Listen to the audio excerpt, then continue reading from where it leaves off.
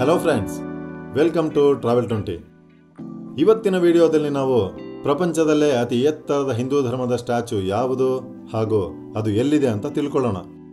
ಅದು ನಾವು ಆರಾಧಿಸುವ ತ್ರಿಮೂರ್ತಿಗಳಲ್ಲಿ ಒಬ್ಬನಾಗಿರುವ ಭಗವಾನ್ ವಿಷ್ಣುವಿನ ರೂಪದಲ್ಲಿದ್ದು, ಹಿಂದೂ ಧರ್ಮದಲ್ಲಿ ಗರುಡ ಪಕ್ಷಿಯನ್ನು ವಾಹನವಾಗಿ ಹೊಂದಿರುವ ಸಂರಕ್ಷಣೆಯ ದೇವರಾದ ಸ್ಥಿತಿಕರ್ತನ ಸ್ಟ್ಯಾಚು.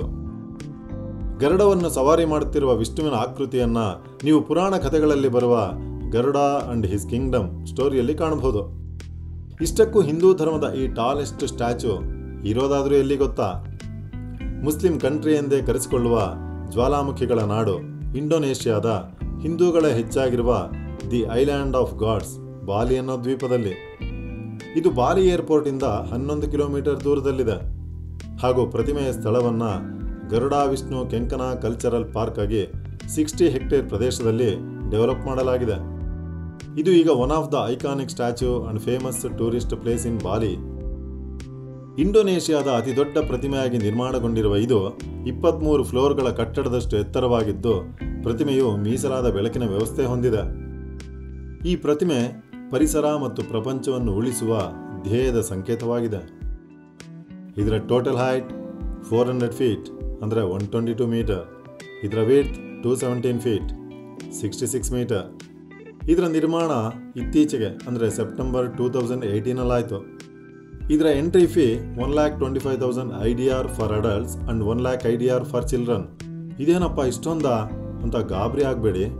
ಇದು ಇಂಡೋನೇಷ್ಯಾ ಕರೆನ್ಸಿಲಿ ಅದೇ ನಮ್ಮ Indian ರುಪೀಸಲ್ಲಾದರೆ six twenty five rupees for adults and five hundred rupees for children ನೀವು ಟಿಕೆಟ್ ತಗೊಂಡು ಎಂಟ್ರಿ ಕೊಟ್ಟ ತಕ್ಷಣ ಒಳಗಡೆ ಇದಕ್ಕೆ ಹೊಂದಿಕೊಂಡಂತೆ ಕಾಣುವ ಇದೇ ಮಾದರಿಯ ಮಿನಿ ಸ್ಟ್ಯಾಚು ಕಾಣುತ್ತೆ. ನಂತರ ವಿಶಾಲವಾದ ಪ್ರದೇಶದಲ್ಲಿ ಕಾಣುವ ಎಲ್ಲಿ ನೋಡಿದರೂ ಬೃಹದಾಕಾರದ ಕಡಿದಾದ ಬಂಡೆಗಳ ಮಧ್ಯೆ ಪ್ಯಾಸೇಜ್ ವೇ ಮುಖಾಂತರ ಹಾದು ಹೋಗಿ ನೀವು ಈ ಸ್ಟ್ಯಾಚುನ ಕಣ್ತುಂಬಿಕೊಳ್ಳಬಹುದು. Twenty thousand I D R means hundred ರುಪೀಸ್ಗೆ ನೀವು ಸೈಕಲ್ಸ್ಗಳನ್ನು ರೆಂಟ್ಗೂ ಪಡೆಯಬಹುದು ಈ ಪ್ರತಿಮೆಯನ್ನು ನೀವು ಅಪ್ರಾಕ್ಸಿಮೇಟ್ ಟ್ವೆಂಟಿ ಕಿಲೋಮೀಟರ್ ದೂರದಿಂದಲೇ ಕಾಣಬಹುದು. ಇದು ಸ್ಟ್ಯಾಚ್ಯೂ ಆಫ್ ಲಿಬರ್ಟಿಗಿಂತ ಸುಮಾರು ತರ್ಟಿ ಮೀಟರ್ ಹೈಟಲ್ಲಿದೆ. ಲಿಬರ್ಟಿ ಸ್ಟ್ಯಾಚು ಎತ್ತರ ಹಾಗೂ ತೆಳ್ಳಗಿರುತ್ತೆ, ಆದರೆ ಈ ಗರುಡ ಎತ್ತರಕ್ಕಿಂತಲೂ ಅಗಲವಿದೆ. ರೆಕ್ಕೆಯ ವಿಸ್ತಾರವೇ ಇನ್ನೂರ ಹತ್ತು ಅಡಿಗಳನ್ನೊಳಗೊಂಡಿದೆ. ಈ ವಿಷ್ಣುವಿನ ಕಿರೀಟವನ್ನು ಗೋಲ್ಡನ್ ಮೊಸಾಯಿಕ್ನಿಂದ ಇರಿಸಲಾಗಿದೆ.